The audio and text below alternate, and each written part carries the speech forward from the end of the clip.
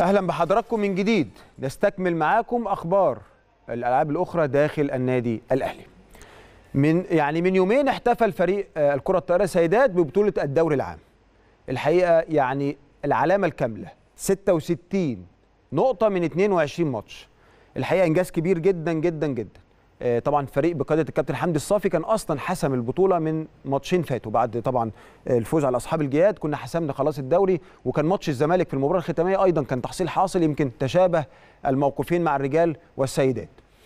آه، كان الماتش تحصيل حاصل ومع ذلك فزنا 3-1 وخليني أقول لحضراتكم إنه آه، يعني في البطولة كلها في الدوري كله في 22 ماتش ما خسرناش غير أربع أشواط. الحقيقة يعني الواحد بيبقى يعني لما بيتناول أخبار كرة الكره الطائرة سواء رجالة أو سيدات في النادي الأهلي بيحس كده بإيه؟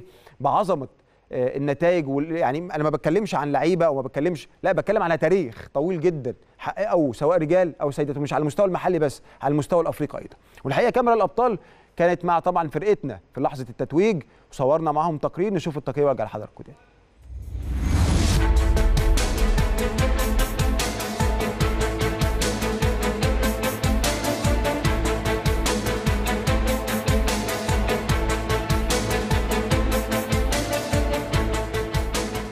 ألف مبروك لجماهير النادي الأهلي لل- للاعبين وللجهاز الفني آه، لمجلس إدارة النادي الأهلي.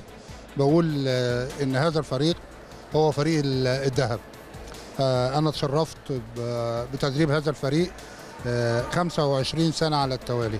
وأعتقد إن إحنا سويا وبعدها كابتن حمدي الصافي هذا الفريق عامل آه، إنجاز آه، تاريخي. هو المحافظة على الدوري المصري آه، تقريبا من حوالي آه، 27 سنة.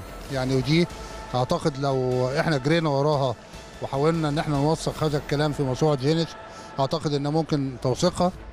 فده العادي. ألف مبروك.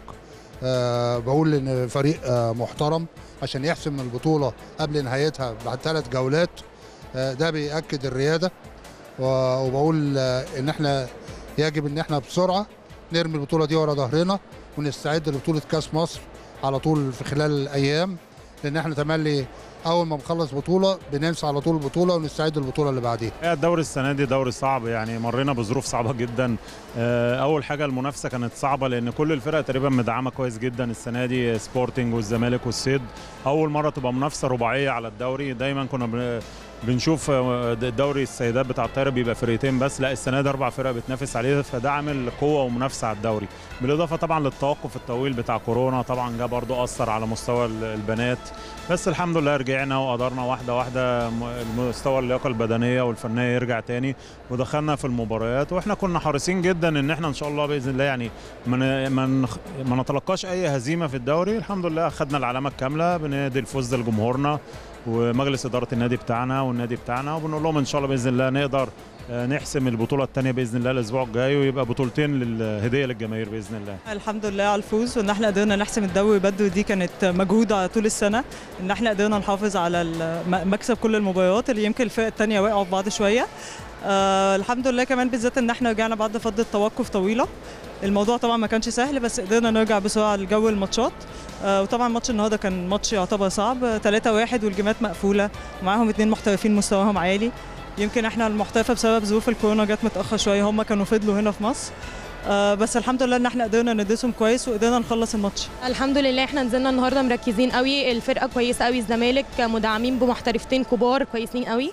فاحنا فضلنا مركزين حتى ما كانش فارق معانا يعني الماتش قوي بس لا كنا لازم نكسب ولازم نكسب الزمالك عشان ده بالنسبة للأهلي حاجة كبيرة.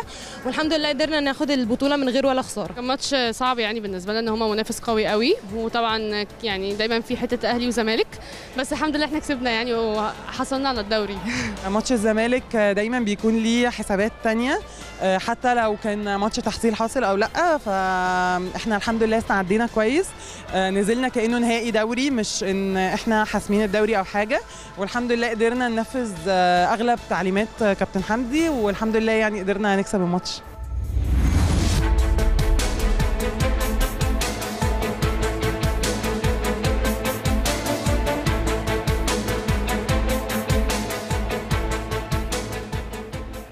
أهلا بحضراتكم من جديد. ألف مبروك لكرة الطائرة طبعا. سيدات إنجاز كبير. يمكن كابتن رؤوف اتكلم في أول التقرير واللي يعني الحقيقة الكابتن رؤوف كان شرف طبعا بتدريب هذا الفريق فترة طويلة وكان من أحد المساهمين آه، في حصول عدد من عدد بطولات كبيرة طبعا. مع الفريق ده الفريق ده فريق يعني فتيات الذهب. واسم على مسمى الحقيقة. ألف مليون مبروك ونتمنى لهم طبعا حصد المزيد من البطولات. نروح لتنس الطاولة.